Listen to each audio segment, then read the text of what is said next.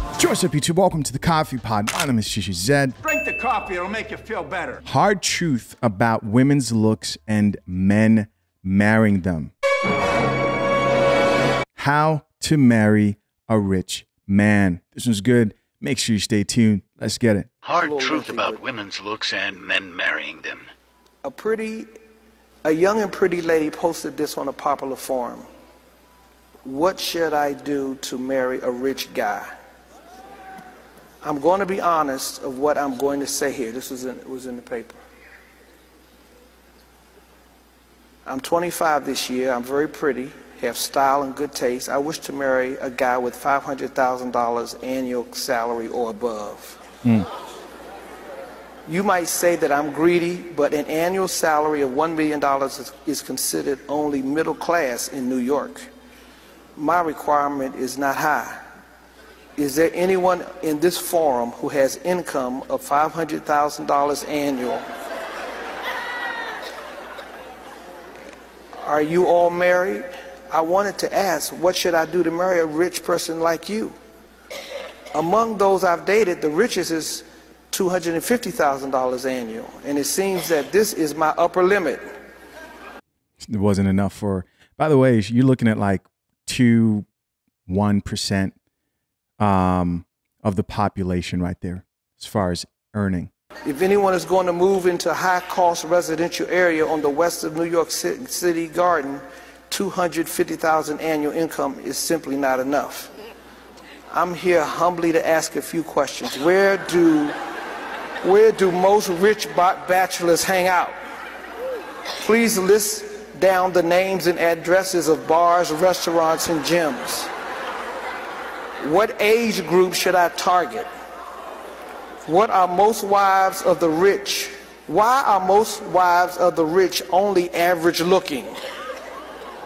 I have met a few women who don't have good who don't have looks and are not interested interesting but they are able to marry rich guys.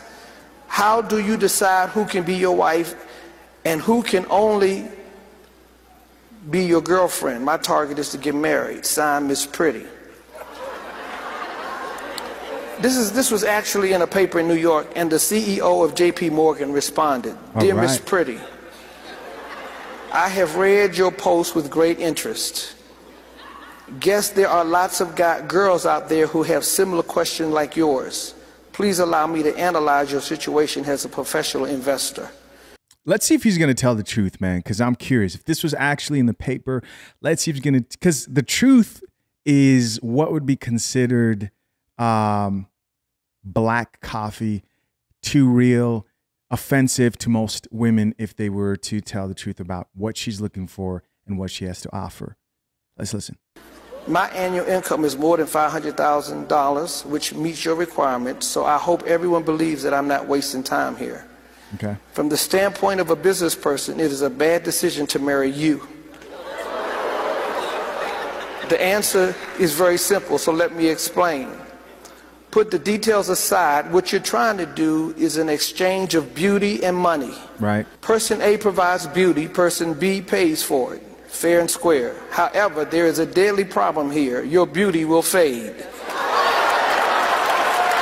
Okay. But my money will not be gone without a good reason. Okay. The fact is, my income might increase from year to year, but you can't be prettier year after year. Such a simple concept. Let's keep listening. Hence, from my viewpoint of, econ- of economics, I am an appreciating item and you are a depreciating asset. Mm. And it's not just normal depreciation, but exponential de- depreciation. If that, is, if that is your only asset, your value will be much worse 10 years later.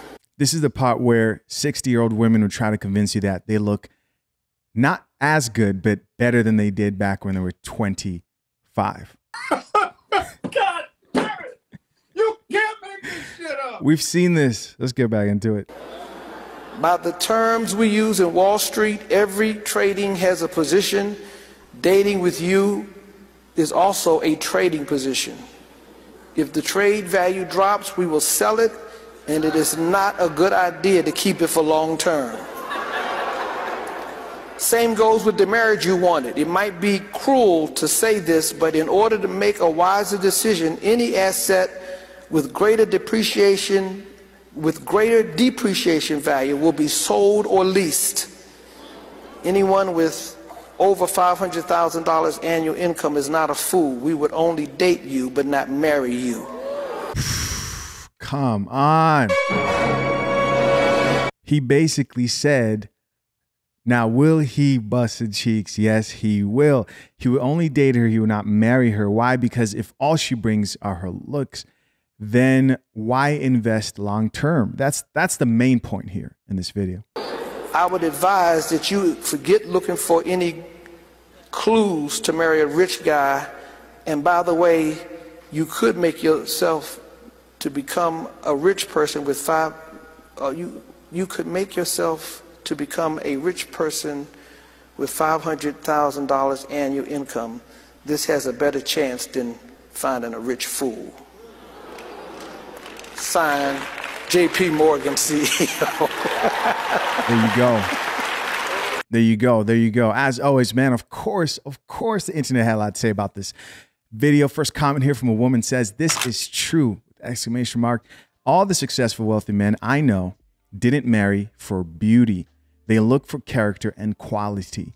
Where is this um, lie that's fed to women that men who are successful marry strictly for beauty?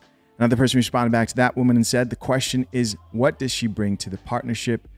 And beauty alone will not cut it. Next comment here says, She fails to realize the so called average looking woman caught the big fish when it was still small meaning she helped that man build. Some women, very few women, are willing to go through that process with a man.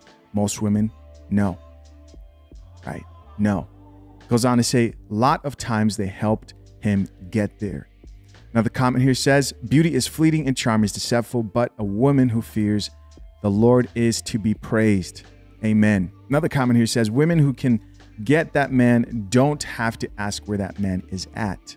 Mm he finds them. Now, the person here says, yes, married a school teacher that everyone loved, taking her to a play in a Porsche and leaving for Maui to celebrate our 20th anniversary. Next comment says, beauty doesn't attract wise and rich men. Well, beauty definitely attracts all men, but rich men aren't gonna lock you down just because you're beautiful.